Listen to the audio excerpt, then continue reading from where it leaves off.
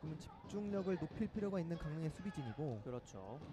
자 지금은 어, 스피드 좋습니다. 좋아요. 올려줬는데. 오 second ball 쪽에 슛! 골! 선제골 강릉입니다. 스코어 1대0. 네, 심광호 선수가 second ball 싸움에서 집중력을 발휘를 하면서 결국에는 이 선제골을 기록을 했고 아 사실은 차강 골키퍼의 선택, 차강 골키퍼의 실책이 조금은 아쉬운 장면입니다. 네. 아 저는 사실 골키퍼가 잘 잡았습니다라는 멘트를 준비하려고 했는데 다시 네. 한번 보겠습니다. 자 우선은 이 패스가 굉장히 좋았어요. 네, 김동률 선수가 끝까지 포기하지 않고 크로스를 시도를 했기 때문에 네. 사실은 차강 골키퍼와 그러니까 지금은 수비진과의 실수가 좀 있었어요. 네. 서로 공을 미루다가 이 공이 심광호 앞에 떨어지게 됐고 아, 결국 마무리를 쓸 해주었습니다. 수밖에 없는 기회이기 때문에 이거는 이제 결국에는 같은 팀으로서 이런 부족한 부분을 채워나가야 돼요. 올려줬습니다. 헤더! 골!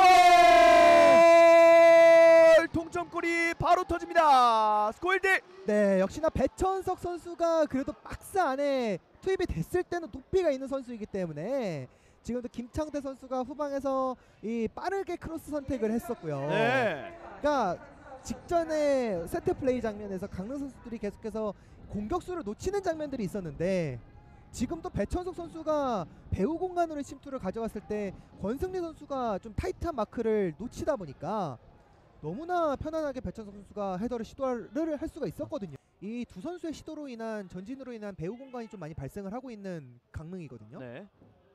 자, 지금도 수비 좋았고요. 네, 빠르게 또 경합 시도하고 있는 1대1 강릉입니다. 붙여봅니다. 어, 네, 김동률 빨라요. 나왔어. 김동률. 김동률. 이거는 해결해줘야 돼요. 김동률. 김동률.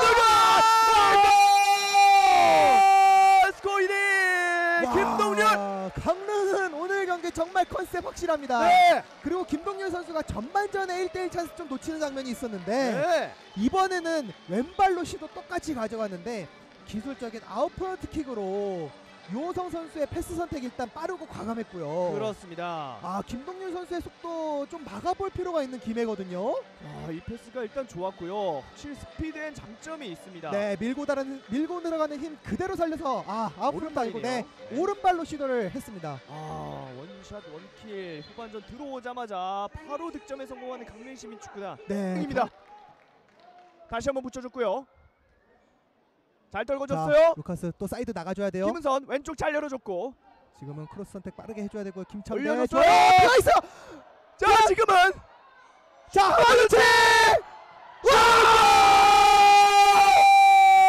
루안 그러나 득점이에요. 어 네. 이어졌군요.